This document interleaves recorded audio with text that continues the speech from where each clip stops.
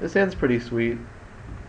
If we draw a land, we'll have a good curve of turn 2 Myrsmith, turn 3 Trinket Mage, turn 4 we can do something like Spell Bomb, make a token, make another token.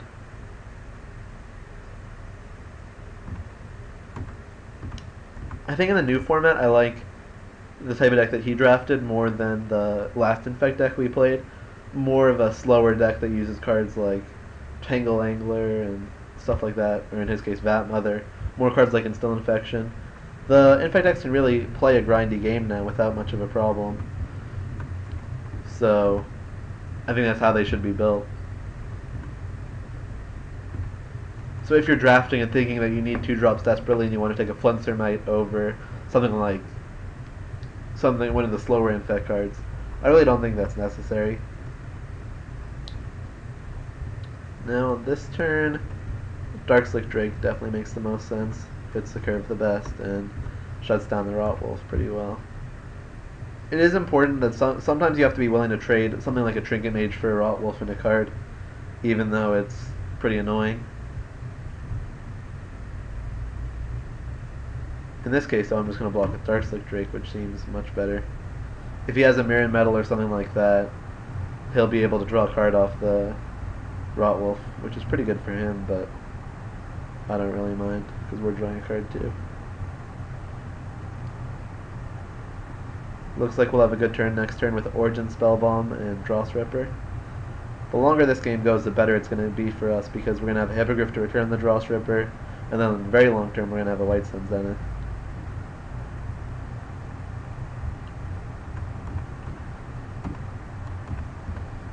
I figure since I have the White Sun Zenith, I should play the island first, since it might plant something in his head that I don't have it, potentially.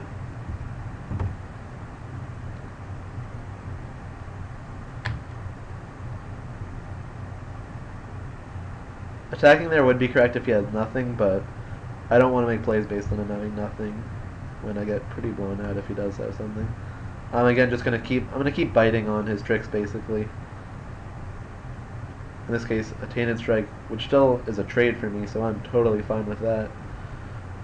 And uh, I'm especially happy about biting because now I can Hippogriff the Dross Ripper.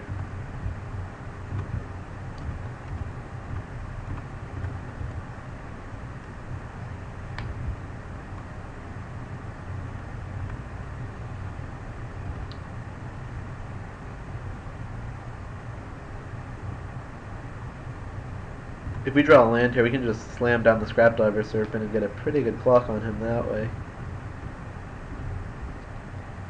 Or we could draw True Conviction. That's also a possibility. Um, I think I'm going to play True Conviction and ship, since with one more turn, I'll be able to pull so far ahead. The one problem is that this opens me up to some artifact removal, but I don't think that's really a big deal.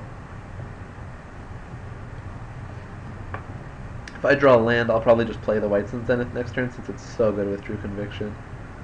If not, I'll have to audible to a different plan. Yeah, I definitely like land go land attack with my Razor Hippogriff for six go. He's at 14 now. Each White Sun Zenith token is going to be attacking for 4, which is pretty gross and I'll be able to first strike down just about anything.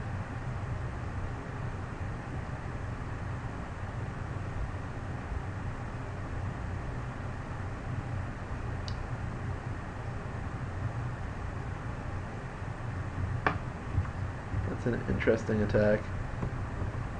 Even if he had something like Tainted Strike Untamed Might, I wouldn't die to the mirror, so definitely not blocking there.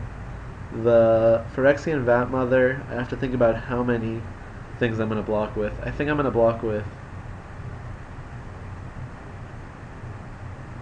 and success. Apparently that was good enough for me. So, we had a pretty sweet deck and managed to 3 out the draft. Hopefully I'll be back at some point with another Mirrodin Besieged draft. And maybe more constructed videos.